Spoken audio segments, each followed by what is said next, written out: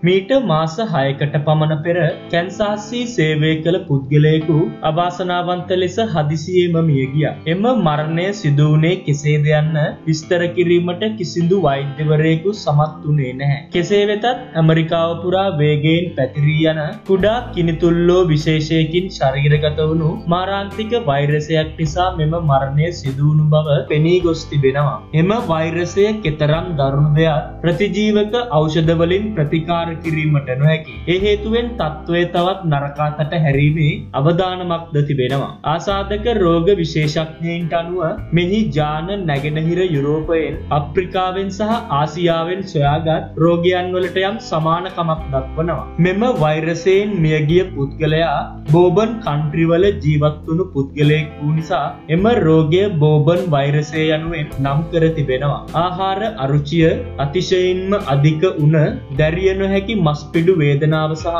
අවසානයේදී මරණය ගෙන දෙන එම රෝගී තත්ත්වයේ ජාන විශ්ලේෂණය කිරීමට විද්‍යාඥයින් මේ වන විට බෙහෙස නොබලා මහන්සි වෙනවා. ලෝපුරා වේගෙන් පැතිරියාමේ අවධානමක් පවතින එම වෛරසය පිළිබඳව වැඩි විස්තර දැනගන්න අප සමග නිරන්තරයෙන් රැඳී සිටි. ඔබ නොදත් මෙවැනි වටිනාදේ දිනපතා දැනගන්න නොදුටු ලෝකයේ සමග රැඳී සිටින් අපිව සබස්ක්‍රයිබ් කරන්නත් අමතක කරන්නට එපා.